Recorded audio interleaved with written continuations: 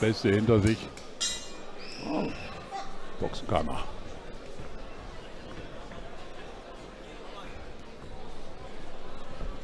Rechtsauslage bei Minas kommt aus Split in Kroatien.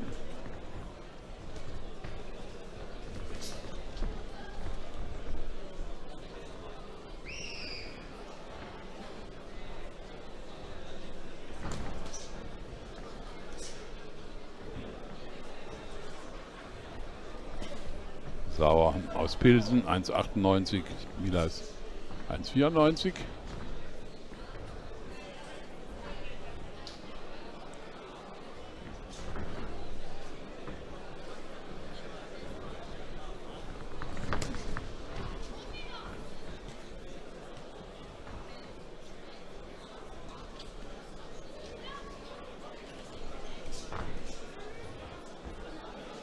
Mila sieht zumindest gut trainiert aus. Hat also was gemacht.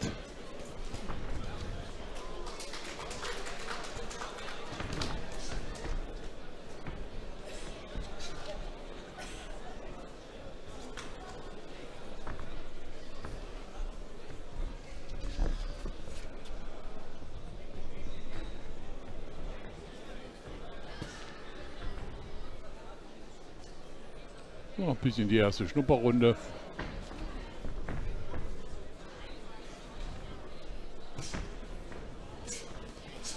Ist ja immer eine Frage beim Sauer, wie lange das geht. Wie lange er die Kraft hat, da dagegen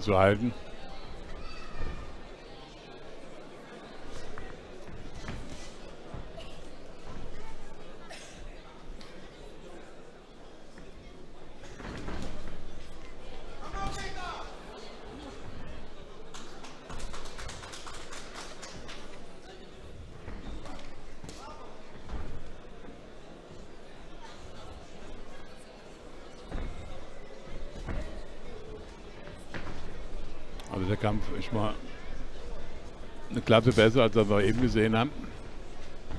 Das kann man schon mal sagen. Schön die rechte. Oh, da wackelt er.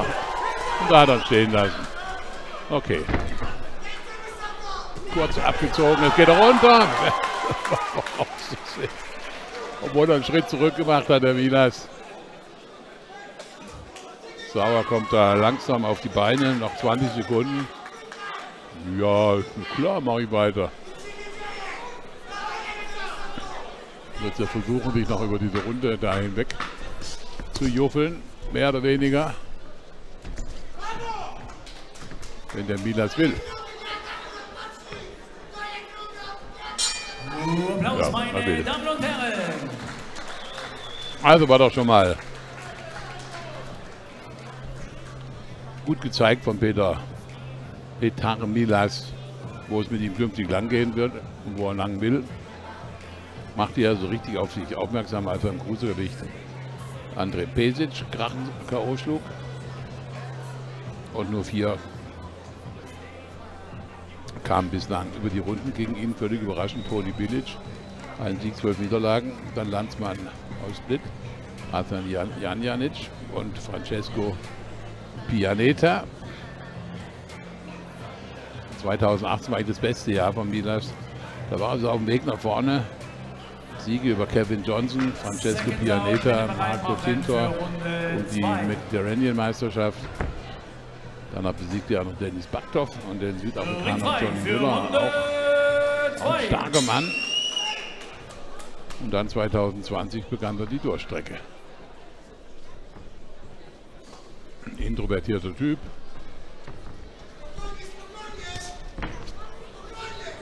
Freundlich, sagt aber kein Wort zu viel.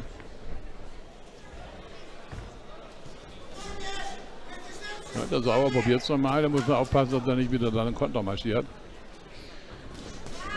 Er zieht seine Fäuste da schnell durch. Peter Milasch.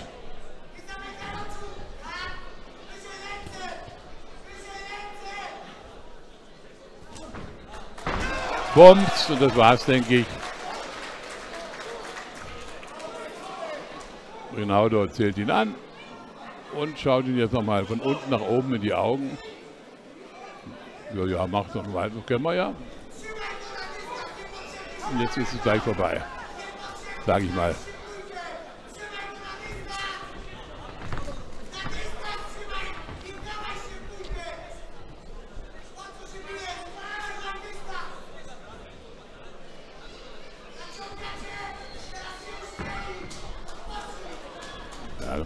Nicht ganz häufig rausgehen, der Peter Milasch.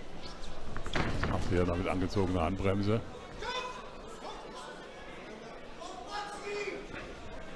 Aber er erinnert doch schon wieder an die alten Zeiten. Und jetzt ist es aber passiert.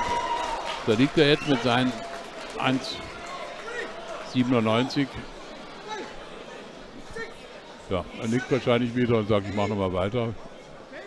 Ja, ja. Macht ja Spaß.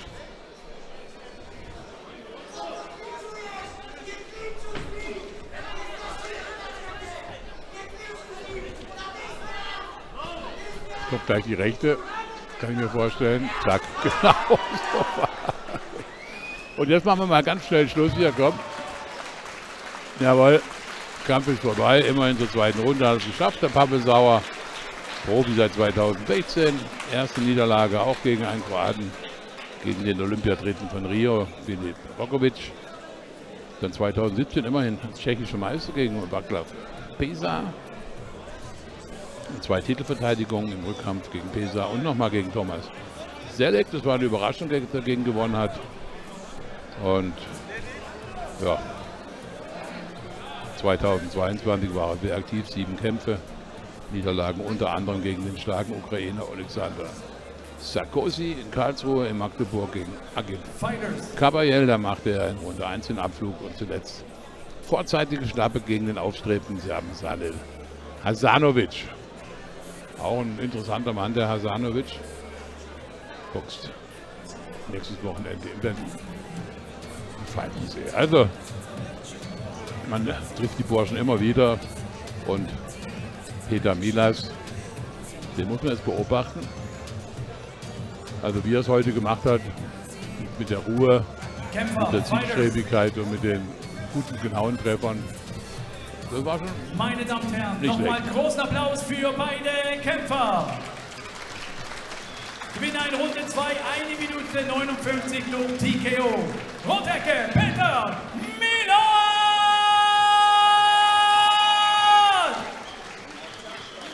So, und jetzt ist auch die ganze Führungsspitze da von Fide Sports GmbH im Ring. Burim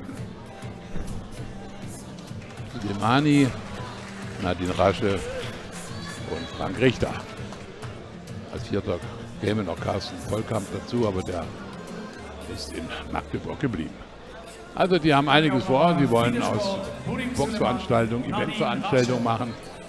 Sie wollen das Boxen auf eine andere Ebene heben. Mal gucken, ob es fun funktioniert. Gute Kämpfe haben sie allemal. Und jeder jede Promotion, die versucht, das Boxen auf ein höheres Level zu heben in Deutschland, muss man begrüßen.